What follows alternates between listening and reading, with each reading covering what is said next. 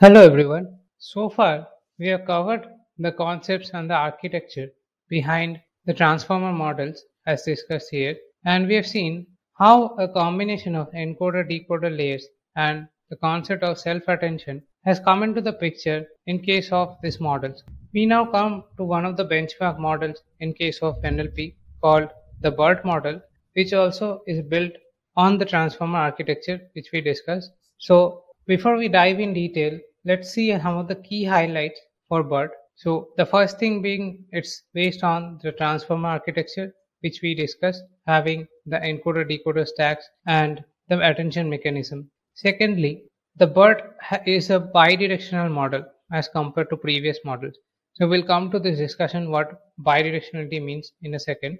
And the BERT has been pre-trained on a very large corpus, specifically the book corpus having 800 million words and the English Wikipedia having 2500 million words. So in case of transfer learning in NLP, BERT has been pre-trained on a very huge corpus and this is one of the key aspects for BERT whereby it shines in case of other language models in this task. And also it has the self-attention mechanism which is being used in case of the transformer architecture. So now let's try to understand the main thing the bidirectionality concept in case of BERT, which was a more distinguishing factor compared to the GPT transformer, which has a shallow concatenation and not a deeply bidirectional network. Let's take this example. We have a word bank which is being used in two contexts. First sentence is he and his friends went to sit near the river bank and enjoy the sunset. And the second sentence is Tom needs to go to the bank by Saturday to claim his lottery amount rewarded as a check. So as you can understand, the bank or the word bank is being used in two different contexts here. And this is possible for the human brain to like understand based on our memory and our visualizations. But we need to make the computer also understand how to process this word bank differently based on the context. So one way to do that is to consider both the left and the right context present in the sentence before and after the word and with the help of that determine what may be the actual context with respect to which this word is being used. So that is exactly the concept which is used by BERT that it uses encoder representation in a bidirectional manner and it uses the bidirectionality by checking both the left side and the right side of the context word as shown here. So this is one of the key aspects where BERT shines in terms of its bidirectionality. And on top of that, it already sits on the transformer architecture and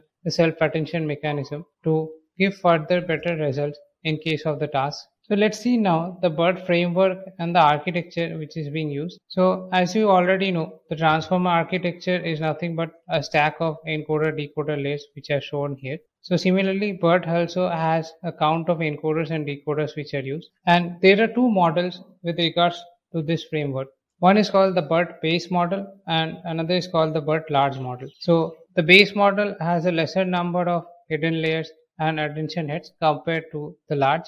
I have mentioned the specifications here with what are the hidden size what are the attention heads present and the count of the number of parameters. And if we, if we want to see how the text is being fed into BERT this is something like this. So we have some special tokens in BERT which are being used to cover the sentences.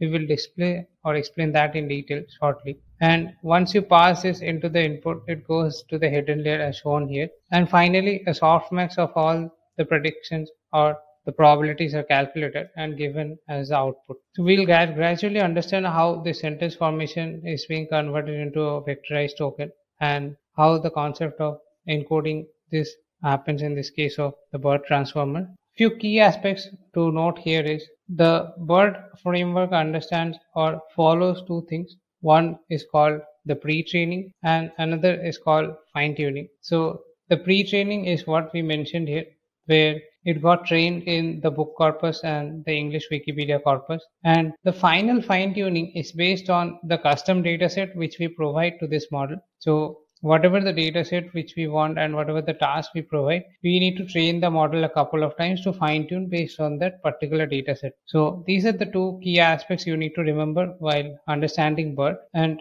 in the next lecture, we'll discuss how the sentence and the word embeddings are being constructed and fed into the BERT transformer and how it gives the output. We'll understand those in detail.